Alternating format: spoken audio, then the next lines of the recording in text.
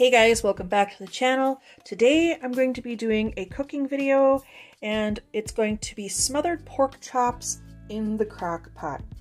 So stay tuned and I'll take you through the steps of exactly what how I make my pork chops. First of all, what you're going to need is a medium to large onion, uh, about three to four cloves of garlic. In here I have some beef stock that I froze into ice cubes. So that's going to be approximately, mm, by the time it's done, almost three quarters of a cup of beef broth. We have cream of mushroom soup right here. You can use all any of these ingredients any way you like. All right, so I'm going to be using thyme, organic bay leaves, Worcestershire, rosemary, powdered garlic, basil, non-cooking spray for the crock pot. All right, and of course the pork chops, and they're behind me, but we'll get started. So go ahead and dice these up.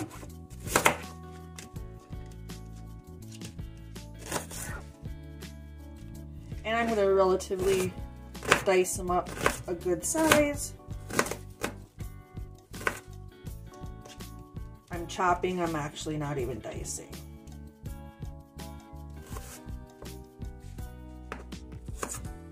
You need to just cut your onions up the way you like them. Now once you're done dicing your, your onions and your garlic up, you will transfer this to a bowl. Next, you're going to add in your cream of mushroom of your choice. You can use uh, chicken, cream of chicken. You can use golden mushroom soup. You can add mushrooms to this as well, but this is the way I'm making this recipe today. This is just stuff that I have in my cupboard because it's one of those days where it's cold outside. Uh, winter isn't quite done here yet, and so it's going to be just a nice comfort meal, similar to kind of a stroganoff in a sense, but what we're gonna do is we're also gonna be serving this over rice. The chops will be served on the side with, this will be turning into uh, like a gravy. So this will go over the rice and the pork chop will go over rice. I'm using sirloin cut pork chops. Next, we're gonna go ahead and add in our ice or our beef cubes. Don't worry, they don't have to be fully thawed. The next thing we're going to be adding is Worcestershire sauce. You guys, first time me filming this like this, so I um am not looking the most partiest, so yes. we're gonna put in some paprika. And I just judge it. Next, we're going to be putting in, even though we've already got it in there, we're going to be putting in garlic powder.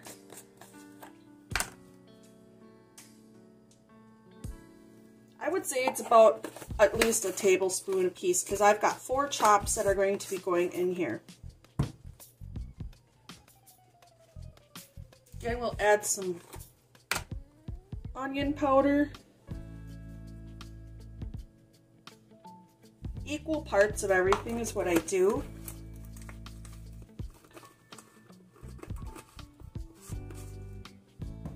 I'm going to put some basil in there too.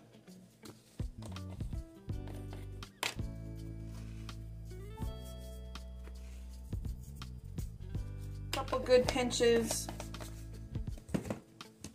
A little bit of thyme careful on the herbs. You can you can overdo it, so just a pinch of thyme. I'm going in with some organic rosemary. I got this online. I think for this whole thing it costed like probably around, was it nine, maybe 10 bucks at, at most. And I got a one pound bag. That will last me forever. So we're using pinch that thyme or rosemary.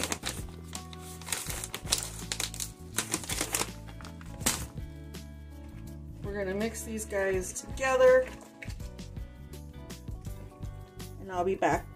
I also added pepper. I don't want to forget that. Added pepper and salt to your liking.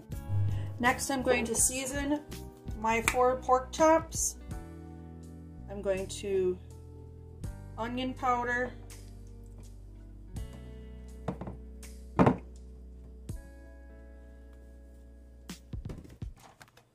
garlic powder,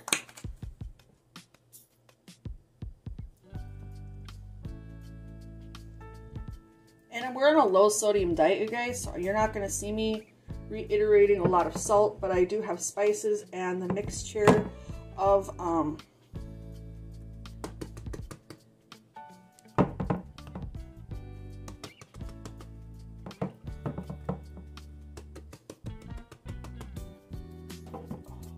the mixture of the cream of mushroom soup has also the flavoring and it will incorporate in there as well. Next what we're going to do is we are going to add the pork chops to the bottom of the dish here. And I don't know how I'm to get you. What I'll do is I'll insert footage once I have a free. Hand. So you guys get the idea. You're to put the bottom, get in the bottom of your crock pot here.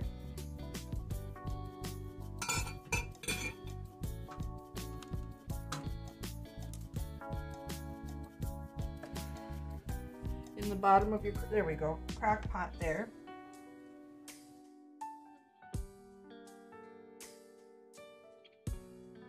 So you guys, this is what it looks like. So we're gonna put her on high.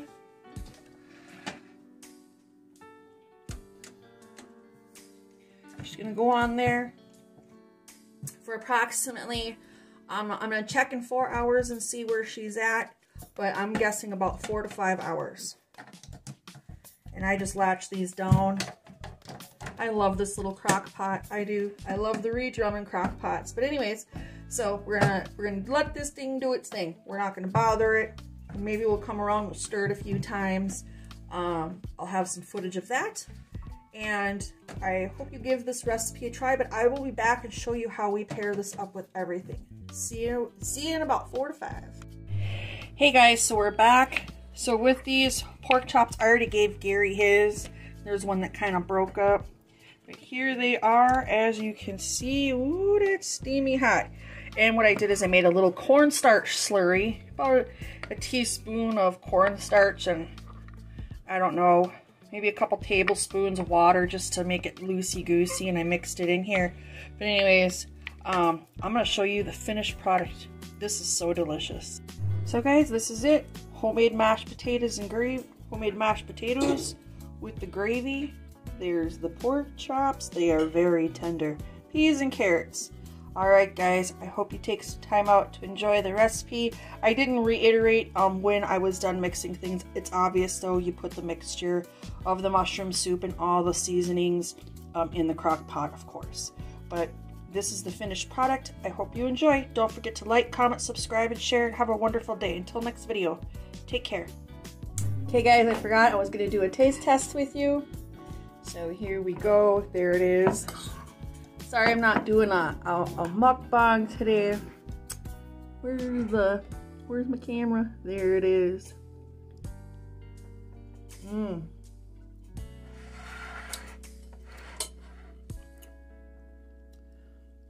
And this is very tender. Mm-hmm.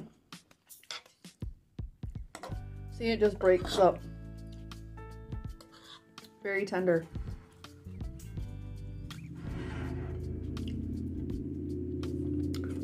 All right, guys. I hope you I hope you guys try this recipe out. Take care.